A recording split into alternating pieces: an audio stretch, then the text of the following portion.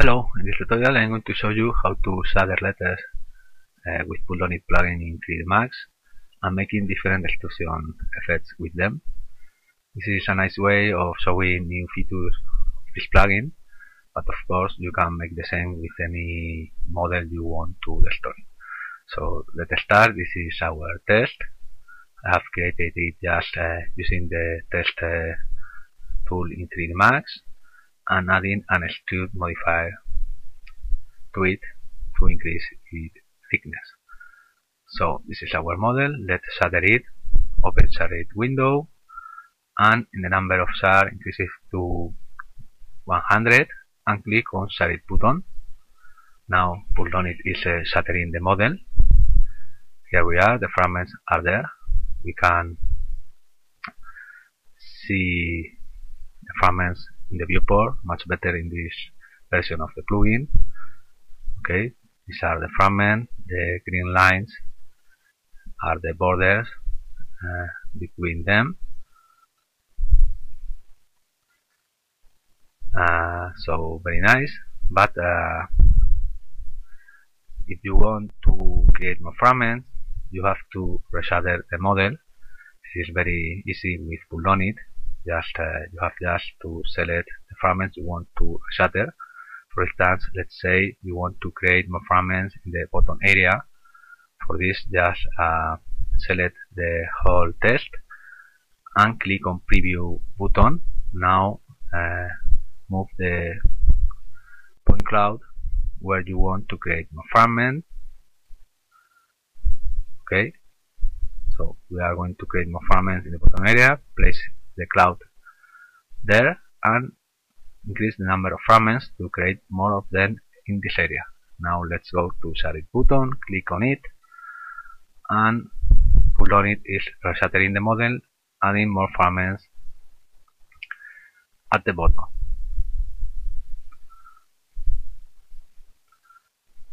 Here we are, let's check our fragments. Now there should be more fragments at the bottom of the test okay? Here are our fragments and there are more of them at the bottom. So perfect. Let's go to dynamics for this open PDI basic fractures. Click on create fracture body and in this pop-up window this is our selection of fragments okay? Just click on ok the model tar orange that means fracture body has been created.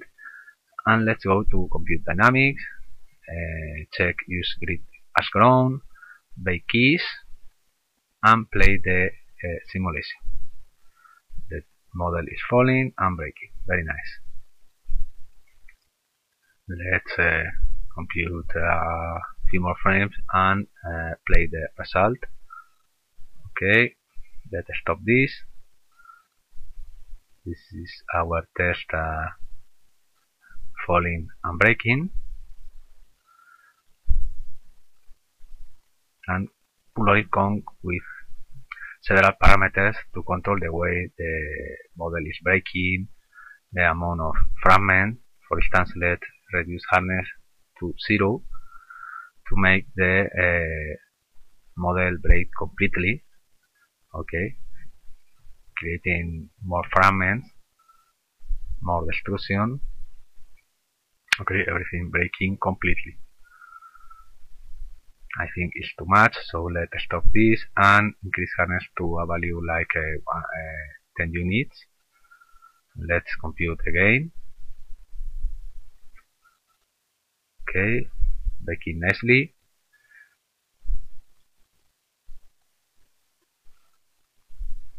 Let uh, stop this.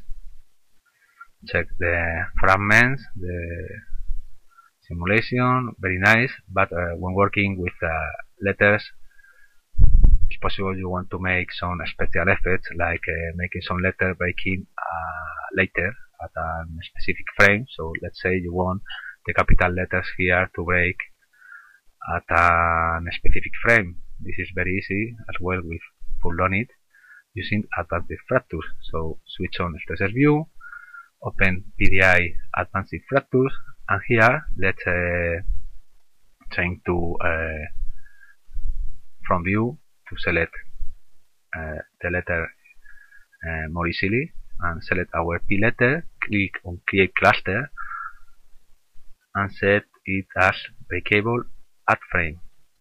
Set our frame like 60, 60 and set hardness to 0 to make sure the letter break completely when reaching frame 60. Like may, let make the same with the letter, select it, create a cluster, set breakable at frame uh, 60 or any one you, you want, and set hardness to 0. Finally, make the same with the I, select it, create a cluster, set it as breakable at frame uh, number 60, and set hardness to 0 to break it completely. Now here we are. Let's uh, check our cluster there. Switch off Stress View and compute dynamics again. So now the capital letters PDI should break, should stand and break when reaching frame 60 and the rest of the letter should break from the beginning. So let's compute and let's check our letters move but doesn't break and when reaching frame 60 they start to uh, collapse. Okay, very nice. Let's finish the simulation and play back the result. Test falling, breaking, but capital letters stand until frame 60. So this is the kind of control you can get with uh, latest it. Let's uh, do another nice e effects. But before I want to show you this new material here is the PDI cut material from the for the interfaces. You can replace it for the one you prefer.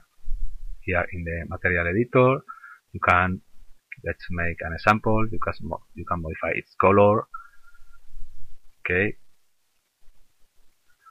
Or assigning any material you want with displacement or whatever.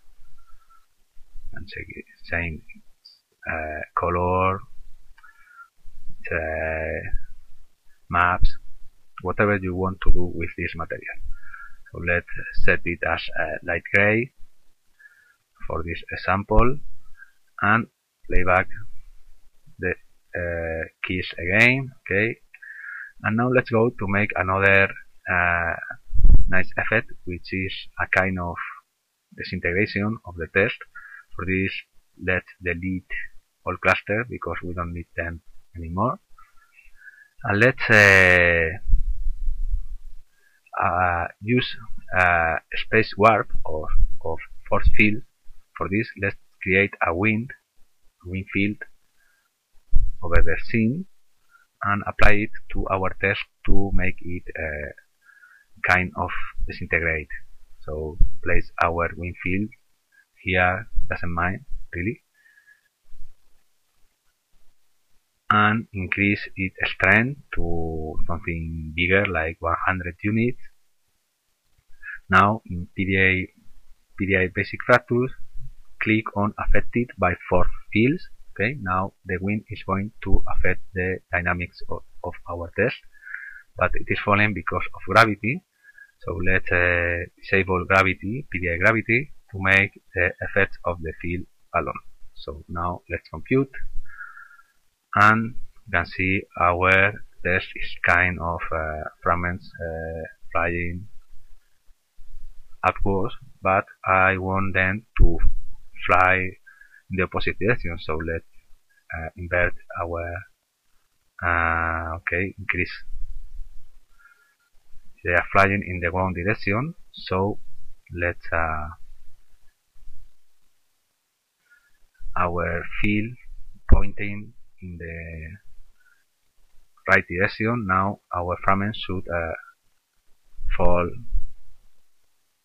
to the ground. Okay very nice is our test uh, disintegration using Pulldownit. In case you want some part of the letter doesn't doesn't move at all, this is also possible using advanced uh, fractures. Switch on the stressor view, select the part we don't want to, to move at all, select the top part of our test for example, and set it as static. It's black, that means this part shouldn't break and shouldn't move in dynamic. Let's switch off Stressor View and compute again. And now our test is uh, collapsing, but uh, the top part is standing because of our uh, sets. Very nice. Let's play back the final result. Motion graphic people should like this. Okay. Very nice effect. So now let's go to make a different one. Okay.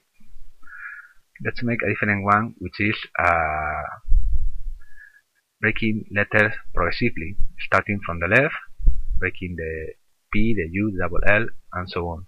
So first, let's delete this uh, field because we don't need anymore, and we are going to use a gravity spherical gravity field instead. So create it on the viewport and place it.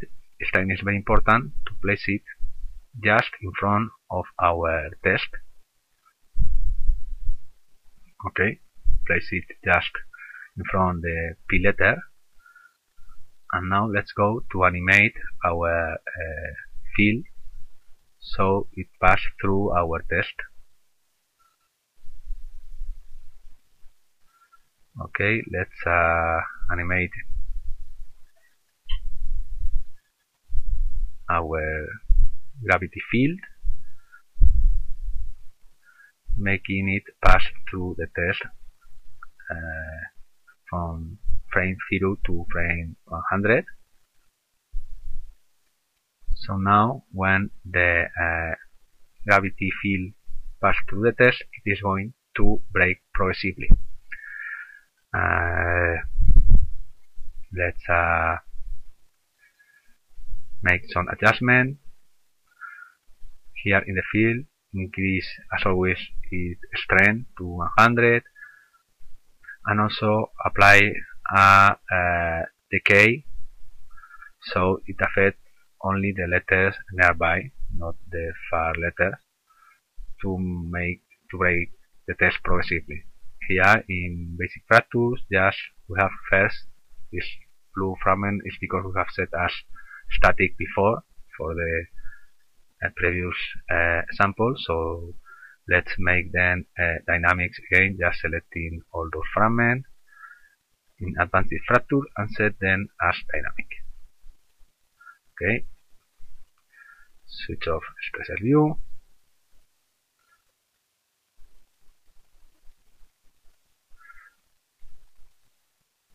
And let's uh, start computing dynamics with our field. Okay it's affecting the letter smoothly but something fails here because I have to enable gravity to make the letter uh, falling so let's enable gravity and compute again. And now the test is uh, moving as a whole because I have to make here in activation basic activation set it as breaks upon impact for making the test uh, breaking but doesn't move. So let's compute now our letters nicely falling and breaking because of our uh, gravity field. Let's finish the simulation and play back the final result. Okay. Letters falling and breaking very nice so well let's uh, hide our field to view the final result clearly okay